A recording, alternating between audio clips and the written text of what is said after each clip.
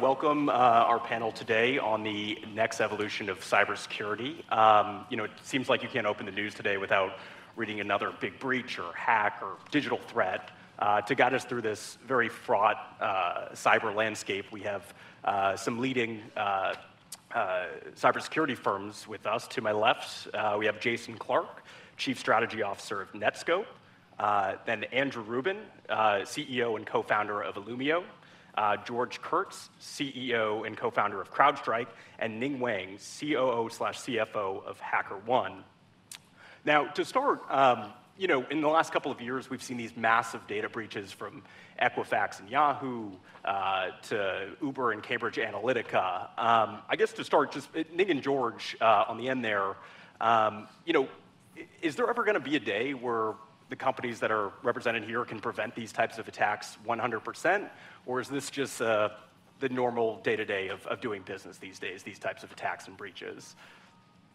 Well, I guess I'll start. Um, I wish there was a day where there's 100% uh, protection. I haven't seen it yet, and I think we all aspire to that as, as being vendors and working with a lot of large and small companies uh, across the globe. But as we understand, the threat landscape is always changing, and it isn't like you're just building, you know, one threat model and you're done with it. You're, you're, fighting an adversary on the other side. There's humans on the other side that are always trying to beat you. So it's a bit of a chess game. Sometimes you're going to win, sometimes you're gonna, they're going to win. I think what's important to realize, and this is one of the stats that we put out at CrowdStrike, is uh, it takes on average about an hour and 58 minutes for an adversary to break out of the system that they actually first come in contact with. So I think a big part of the strategy is prevent as much as you can. We'll talk about a lot of mechanisms and future ways to be able to do that, current and future, but also making sure that you can detect that very quickly. And even if you have an incident, you want to make sure it doesn't turn into a breach. An incident you can contain, you can deal with. The breach is, you know, large scale and uh, a lot of cost and complexity to, to clean it up. Um, I would agree, uh, agree with that. At HackerOne, uh, we work with ethical hackers uh, on the one side, and we work, work, with organizations on the other side. And so today's security, and it's not that you can do anything and everything you think you can completely eliminate that risk, but you can do more to reduce your risk.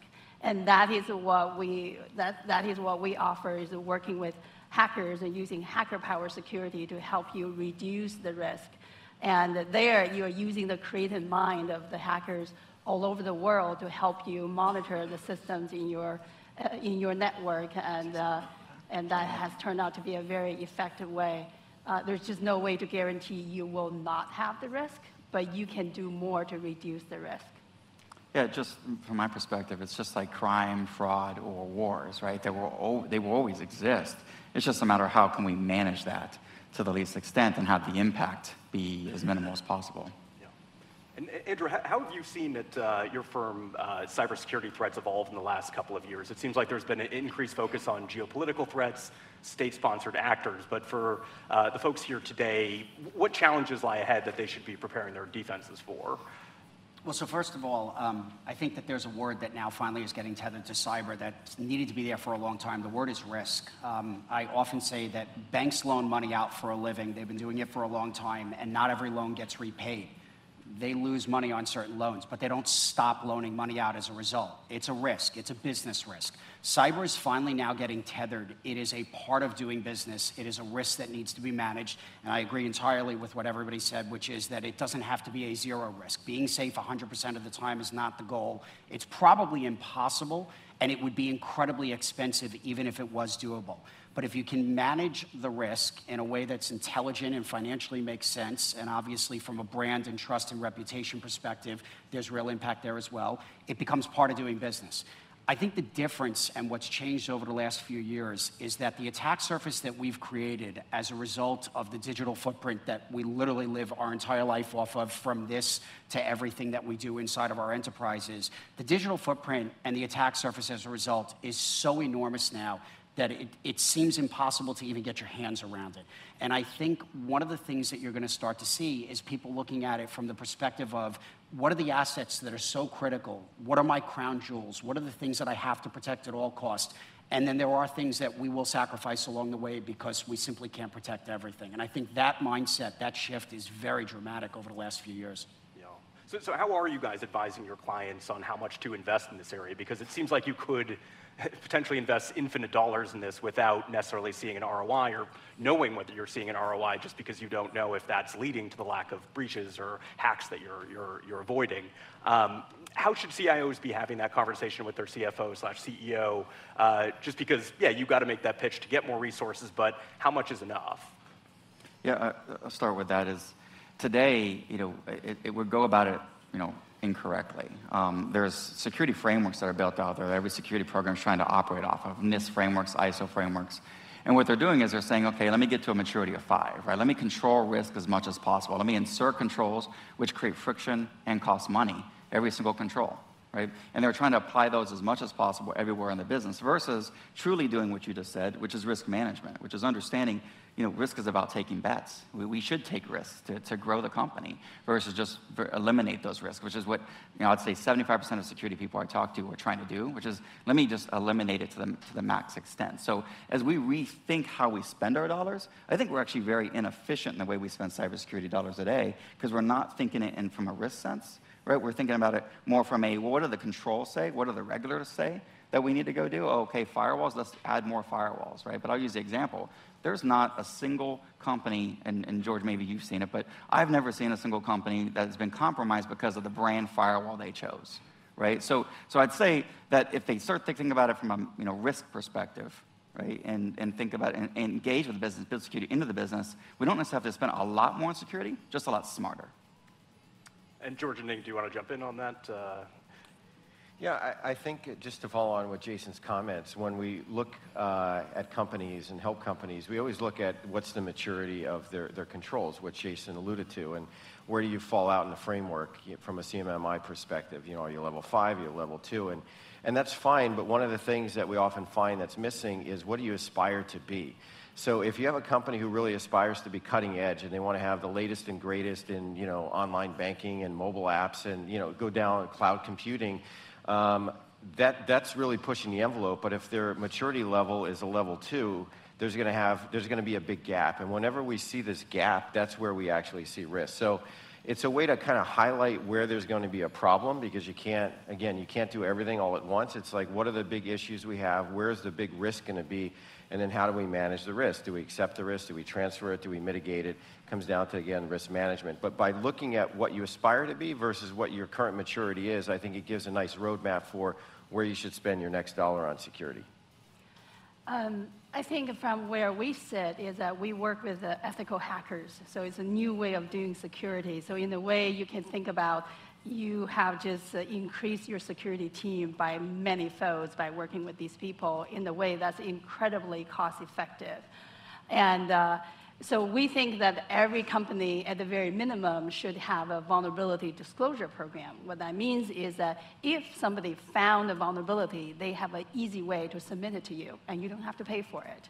So that's the minimum we think everybody should have. It's a no-brainer, and you only get the benefit.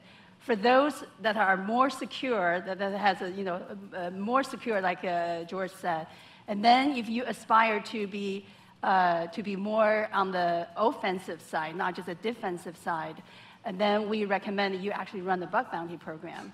And that's where you uh, proactively invite the hackers and tell them what kind of asset you want them to focus on and how much you will pay for different kind of bugs. And uh, from what we see is that uh, a lot of the organizations, including the Department of Defense, and the, you saw a chart on Shopify, is one of our customers, and they take security really seriously, and they start with assets that are already very mature, that have been pen tested many times, and still we're talking about within minutes uh, a valid vulnerability is discovered. And it's because it's the creative mind, right? It's people, they think in their own creative way and they, they find ways to be able to, to still penetrate. And uh, when they report it through a program like ours, then you have your team that you can fix it before they are exploited. You would avoid the breach and uh, you could even avoid the incident if you do it in a timely fashion. So we see that time and time again. So from a CFO perspective, I tell my other fellow CFOs, it's like a business insurance, and it costs very little. It gave you that peace of mind. It's better than insurance because it actually improves the security. Uh, so from a cost efficiency and effectiveness perspective, this new way of thinking uh, about going about doing security is, you know, in my, in my mind, it's like a no-brainer. Andrew, I'll add a very quick comment. The one thing that is certainly over are the days of walking in as a CISO or a CIO and saying, give me more money, I'll keep you safe. Like those days are gone. Don't make the argument that you're going to keep the organization safe, and if you just get an extra five or five hundred million dollars, that's what's going to do it. Because no CFO and certainly no board is going to believe it.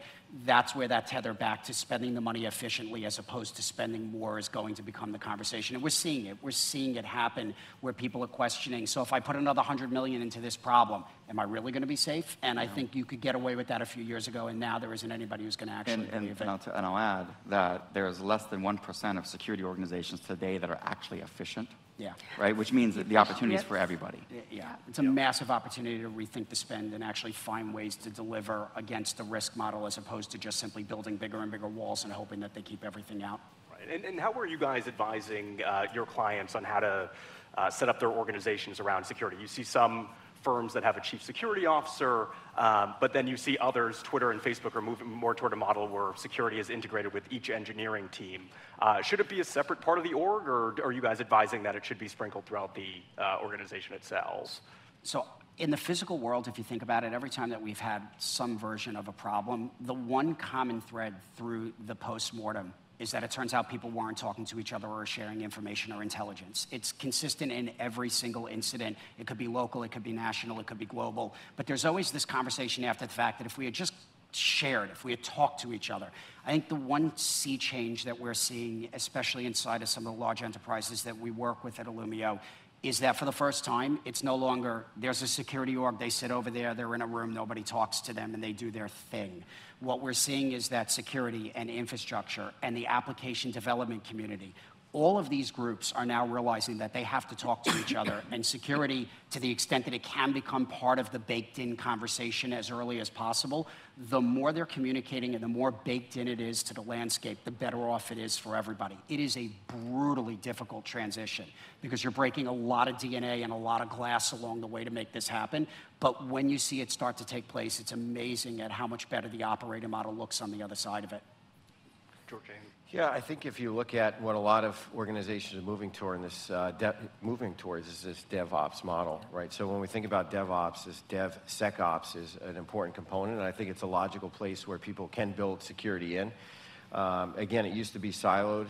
Just following what Andy uh, said, it used to be siloed, and but now if you want to get a product out, you can't launch. I mean, just think about like Amazon, right? It can't launch a new service unless security is involved in it, right? So you have to have security plugged in, and I think DevSecOps is really a logical uh, place where you can start fresh and say, okay, how is security going to be built in and make them part of the team? And if they're part of the team, um, you're going to get much further. I always talk about Professor Knows. You know, it used to be you'd ask security, can we do this? No, no, no. Well, if you keep saying no enough, they're just going to do it anyway. So go find somebody who can say yes, and here's how we can do it in a secure fashion, and get it done as part of the team.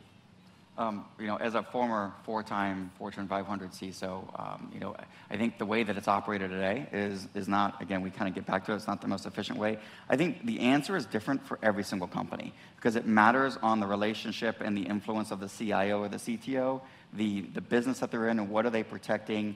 Um, you know, are they a growth business or not a growth business? Are they going to cloud?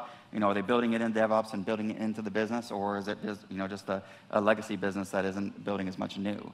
Um, but overall, when you look to the future, the future of security ends up being all about um, data protection, identity and access management, and risk management, right? And how do you control those things? So as you start to think about that, security looks less operational and a lot more like a chief information risk officer. So that's the kind of the thing I would more influence towards is that, you know, the, the focus areas become a lot less, but also the things that we're the weakest in today.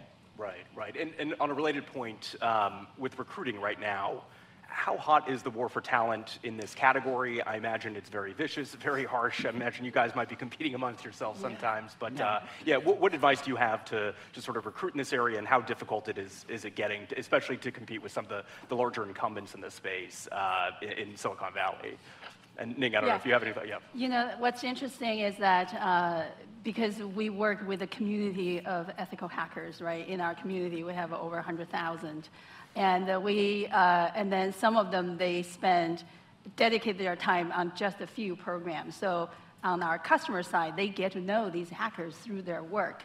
And so there has been more than one example where our customers end up hiring those hackers, and Shopify was actually one of such examples. So it's actually becoming almost a career path, and then you kind of know, uh, you know their skill set, you know their personality, then you know how they communicate. Uh, so yes, the war for talent, especially for security talent, is very hard. Uh, but through this way of crowdsourcing doing security, you actually can find talents that you normally wouldn't have been able to find uh, in the past. Yeah, I think, you know, if you look at CrowdStrike as an example, I mean, we, we sort of redefined endpoint security and delivered from the cloud. So all of the technologies we use are everything that Facebook and Google and Microsoft and all the others and Amazon are using as well, right? So when you think about the scale of what we've built, handling, handling a trillion events per week and just the, the massive data set that we built, we're competing for all the same talent. It's all about data science, it's all about graph technology. Uh, it, it's less about security. We have a whole security team, but to keep the cloud up and running at scale, uh, it looks a lot like a Google and a Facebook, and there's a massive um, shortage of talent just in those areas. Forget about security. So we've, I think, done a good job in being able to break things out across different north, nor, north and uh, northern and southern California, Seattle, some places in Europe, uh, just to get the talent that we need.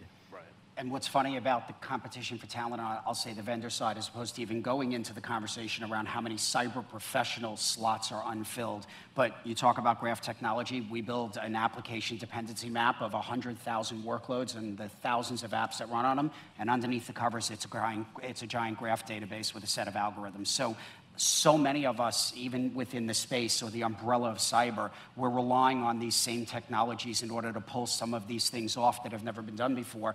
And the truth of the matter is that even a few years ago, nobody was doing this, which means it's not just a war on talent. It's trying to build enough people as, you know, in the sales organization, you think about the top of a funnel and then the sales come out at the bottom. We have the same exact conversation all the time, which is we're not putting enough people in at the top to get out what we need at the bottom. And if we don't fix the top, we are never going to be able to create enough people either on the vendor side or on the cyber professional They side say in to solve the problem we're going to have 3 million open jobs Yeah. in the next few years, right? Um, so significant negative unemployment. I think there's two, two ends of that spectrum. One, as a provider, you know, I think that the hack is to go after leadership. Like we just uh, acquired the guy who uh, ran and built all infrastructure, right, network and servers and everything for AWS. Joined our team, and all of a sudden, that, that's the draw, right? People want to come work for him, right, because of what he's built. His former team wants to work for him, et cetera. So that's kind of the way, you know, we, we, we hack it. Same with, you know, our head of engineering came, you know, built uh, Google's backend. So people want to follow him. So that's a little bit of a hack in how we get around it, but it's certainly difficult. I think it's even harder for each of you and your teams because, um, you know, that's where the, the true challenge of cybersecurity professionals exists because you have 150 cybersecurity technologies you're trying to manage today. So in a way, we're kind of doing it to ourselves. Like that's too much complexity. But if you if you invest in platforms that consolidate things, things there's never going to be one big cyber platform. But if you invest in individual platforms, right, like an endpoint security platform that can consolidate many technologies you do, that starts to simplify your people's lives. And then we build automation. We can actually you know solve this problem multiple angles. And last, get to schools. We need to be getting to middle schools and high schools and getting more kids into cyber. Yeah, just to follow that, it's one of the things that we did. We actually uh, formed the CrowdStrike Foundation. So, big focus for us is actually scholarships for high school and college kids to get them into this profession because we just can't find enough of them. Enough talent, yeah. Yeah. And, um, and actually, just by a show of hands, and maybe you can't admit this, but h- how many of uh, the companies that you work at have suffered a data breach in the last couple of years? You guys were lucky. Um, You're, not, you're never, their gonna, you're never, you you're need never to revise that question. Yeah. How many of you have suffered a publicly disclosed data breach? No hands. Yeah, that's How a- many of you have suffered a not publicly disclosed breach? Fair enough. And you Okay, want to we- disclose it here? no show of hands then. Yeah. But let's say it does happen hypothetically, inevitably. What is the first step that you guys recommend your, your, your clients taking? So it's really interesting. Um, and I would imagine that all of us sitting on this side of the table get some version of this question when we spend time with customers. Illumio has a lot of large enterprise customers, people like JPMC and Salesforce, very large global enterprises. And so you get this question what do I do if I have a breach? And I think because of what we all do for a living, the expectation is that we're going to give you some very technical answer or we're going to say, buy our software.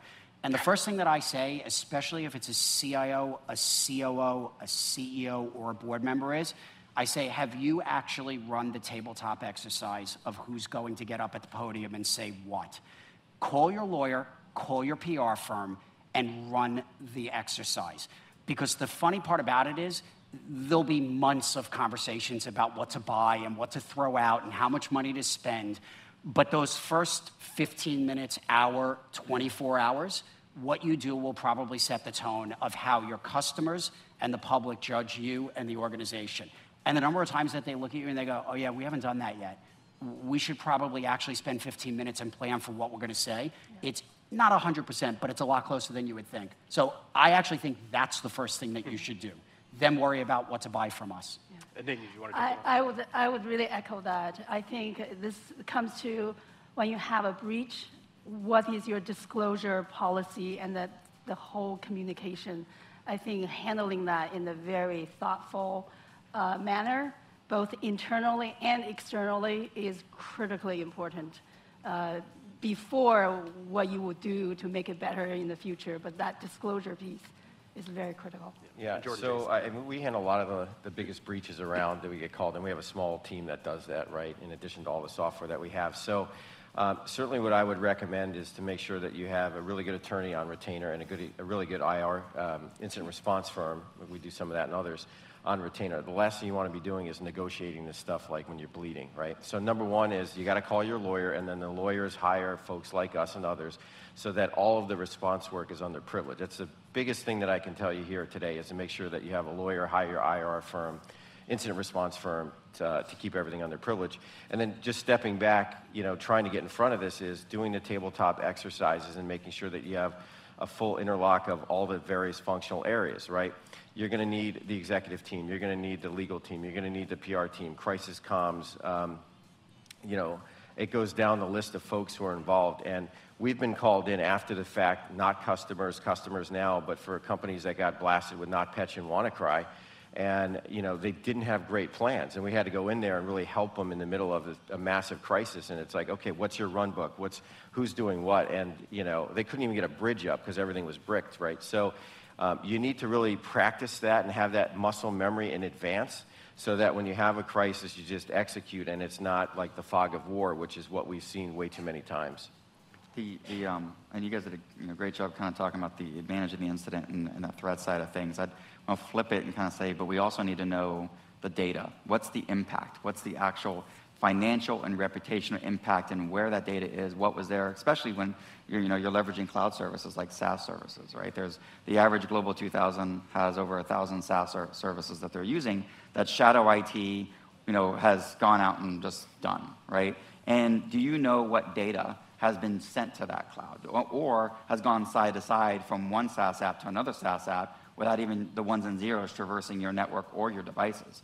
That, so when you think about those kind of breaches and, and you know, from a regular standpoint, you have to, if you can't answer the question, I know it wasn't compromised, then you basically have to default to, well, then it was compromised, right? You have to be able to say no, that you know it wasn't. And so it's about understanding the impact. And, um, and just to zoom out uh, on this conversation a bit, um, Apple CEO Tim Cook has uh, recently been advocating for companies to stop collecting as much data on customers. He's uh, made a speech in Europe recently in which he says it's being weaponized, there's too much surveillance going on, and that perhaps one way to protect against these types of breaches is to, for companies to stop collecting as much data on customers. Uh, where do you guys land on that? Do you feel like we're going to see a sea change in how much consumers feel comfortable with companies collecting data? Um, in, in the year ahead. Do you feel like that's going to shift the, the cultural conversation around this topic of data? Well, I, I think you got to start with the consumer. You know, if you want to flip the business model and say the consumer pays for everything that we get for free today, right? Your Gmails and your Facebooks and go down the list.